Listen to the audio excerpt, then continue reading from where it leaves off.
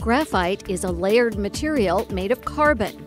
A single layer of graphite is graphene, and a narrow strip of the material is a graphene nanoribbon.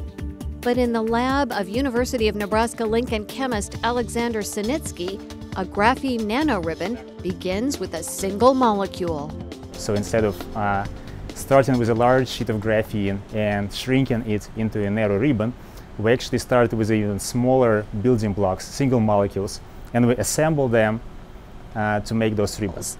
Building the nanoribbons on the atomic scale allows Sinitskii to manipulate them and study their properties. For example, one thing which we did recently is we incorporated uh, nitrogen atoms uh, in the structure of those graphene nanoribbons, and as a result, they uh, became catalytically active in oxygen uh, reduction.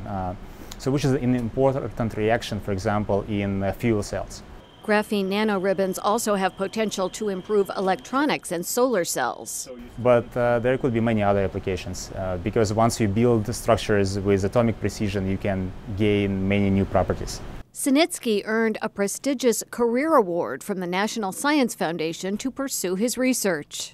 Building like a portfolio of methods which we can use and uh, gaining more and more insights into how those molecules couple into ribbons, we will probably start building more complex structures. And uh, if in a few years we would be able to demonstrate, say, an individual graphene nanoribbon transistor, that would make me very happy.